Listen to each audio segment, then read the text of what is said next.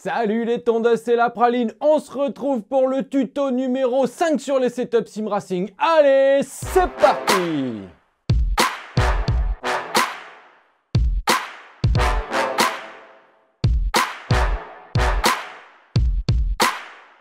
Aujourd'hui, on va parler du carrossage. Alors là, on en a entendu des conneries, des idées reçues plein la musette, des croyances fondées sur euh, rien du tout. Bref, on va remettre tout ça en ordre et dans quelques minutes, vous saurez tout sur le carrossage. Commençons par le commencement et voyons déjà ce que c'est le carrossage. Parce que là déjà, il y a pas mal de quiproquos. Le carrossage, c'est un angle. La définition exacte, c'est que le carrossage, c'est l'angle formé par le roulement de la roue par rapport à la verticale. Ouais, euh, un petit schéma ne sera pas de trop. Prenez une voiture vue de face. On va schématiser les roues pour que ce soit plus clair. Là, on s'intéresse aux roues avant, mais c'est exactement la même chose avec les roues arrière. Ajoutons la piste et traçons un axe vertical qui traverse la roue. Cet axe-là, c'est le carrossage. Le carrossage est négatif lorsqu'on oriente les roues vers l'intérieur et le carrossage est positif lorsqu'on oriente les roues vers l'extérieur. Le carrossage positif, par exemple, vous retrouvez ça sur les véhicules utilitaires. On met du carrossage positif parce qu'une fois qu'on a chargé la caisse, ça redresse automatiquement les roues. Et le carrossage négatif, on va retrouver ça sur les voitures de course principalement. Et il va favoriser le contact des pneus au sol pendant les virages.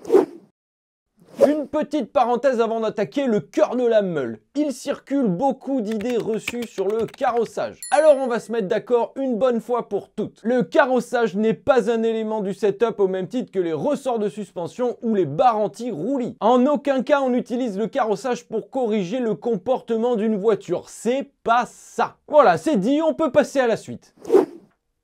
Comme je vous l'ai dit il y a quelques secondes, on utilise le carrossage pour favoriser le contact au sol pendant les virages. Le principe est très simple et le raisonnement se fait justement en s'intéressant au contact au sol. Reprenons une voiture vue de face, schématisons la piste, les roues et l'angle de carrossage. Imaginons un carrossage réglé idéalement et on va s'intéresser tout particulièrement à la zone de contact au sol. En ligne droite, c'est très pratique, seul l'intérieur de la roue touche le sol, ça veut dire qu'on a moins de friction, que la voiture est moins retenue au sol, ça nous fait gagner en vitesse. Lorsqu'on prend un virage, la voiture se met en appui et la zone de contact au sol est optimale. Ça veut dire que toute la surface du pneu se retrouve en contact avec la piste. Ça nous assure trois choses. Un grip optimal, une usure uniforme et une température maîtrisée. Si on met un angle de carrossage trop important, voilà ce qu'il se passe. En ligne droite, la différence n'est pas notable. Seul l'intérieur du pneu touche et à ce moment-là, ça nous arrange. Par contre, lorsqu'on va prendre un virage que la voiture se met en appui, l'ensemble du pneu ne touche pas le sol. Et ça, c'est pas cool. Un carrossage trop important nous empêche d'utiliser l'ensemble du grip du pneu, l'ensemble de la surface de contact au sol. Ça aussi, ça va nous assurer trois choses. Une usure de l'intérieur du pneu qui va être prononcée puisque celui-ci touche le sol en permanence alors que l'extérieur ne le touche pas. Un grip réduit et une température à l'intérieur du pneu qui va augmenter puisqu'elle est plus souvent en contact avec le sol. Dans le cas où le carrossage est réglé trop faible, voyons ce qu'il se passe. Déjà, en ligne droite, la surface de contact du pneu au sol est plus importante. Ça veut dire qu'on est un petit peu freiné, qu'on est un petit peu retenu par la piste due à une surface trop importante. Et lorsqu'on va prendre un virage, la voiture se met en appui et à ce moment-là, l'intérieur du pneu se soulève et il n'y a plus que l'extérieur qui touche la piste. On se retrouve dans le cas de figure où on n'utilise pas tout le grip disponible. On va avoir une usure prématurée à l'extérieur du pneu et une température de l'extérieur du pneu qui va elle aussi augmenter.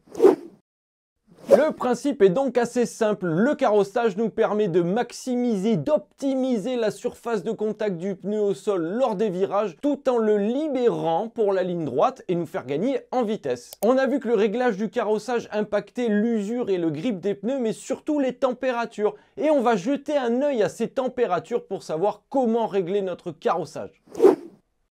En effet, c'est grâce et uniquement grâce aux températures qu'on peut régler un carrossage correctement. Je vous rappelle qu'en aucun cas on va utiliser le comportement de la voiture pour pouvoir ajuster le carrossage. Sur un même pneu, on va identifier trois zones de température. La température à l'intérieur, au milieu et à l'extérieur du pneu. Le principe du réglage du carrossage est très simple et il tient en trois points. Premier point, la température intérieure du pneu. Celle-ci est fixée par le type de pneu et le type de voiture que vous utilisez. De façon générale, en course auto, on est aux alentours des 90 degrés. Ça va être notre valeur de référence, notre constante. La première règle à respecter, c'est que la température à l'extérieur du pneu doit être 6 degrés moins élevée qu'à l'intérieur. Comme on l'a vu tout à l'heure, le carrossage fait toucher l'intérieur du pneu en permanence, mais l'extérieur seulement dans les virages. C'est pour ça qu'on va avoir une température moins élevée à l'extérieur. 6 degrés correspondent à un réglage de carrossage idéal. Troisième et dernier point, la température au milieu du pneu doit être comprise entre la température intérieure et extérieure. Idéalement, pile au milieu. Cette température-là s'ajuste grâce aux pressions. Si vous avez un pneu qui est surgonflé, le pneu va s'ovaliser comme ça. Et à ce moment-là, quand on le regarde de face, il va être un petit peu bombé et le centre du pneu va toucher la piste plus souvent que l'intérieur et l'extérieur. Vous allez donc avoir une température générée par la friction qui sera plus élevée au milieu que sur les bords du pneu. A l'inverse, si votre pneu est sous-gonflé, il va se creuser au milieu et le milieu du pneu touchera moins la piste qui fait qu'il y aura moins de friction, donc moins de température. C'est aussi simple simple que ça. Vous augmentez le carrossage négatif, ça va faire chauffer plus l'intérieur du pneu. Vous diminuez le carrossage négatif, ça va faire chauffer plus l'extérieur du pneu. Si le milieu du pneu est trop chaud ou trop froid, on ajuste la pression pour retendre le pneu, se retrouver avec une surface le plus lisse possible. Avant de se quitter, je vais vous parler des très légers ajustements qu'on peut faire sur le carrossage. J'insiste sur le côté très léger. Il ne faut pas négliger que pour certaines voitures et dans certains cas de figure, un petit peu moins de carrossage à l'avant par exemple nous permet d'avoir un petit peu plus de contact au sol pendant le freinage et qu'un petit peu moins de carrossage à l'arrière nous permet d'avoir un petit peu plus de zone de contact au sol pendant l'accélération. Pour certaines épreuves, notamment les épreuves d'endurance, il peut être judicieux d'ajuster très légèrement votre carrossage sur votre setup de course par rapport à votre setup de qualif. Mais surtout, n'oubliez pas qu'avec le carrossage, il ne s'agit pas de corriger un problème de comportement. On a tout le reste du setup pour le faire. Avec le carrossage, il s'agit d'obtenir une température et une usure maîtrisée afin de pouvoir garder un rythme stable plus longtemps.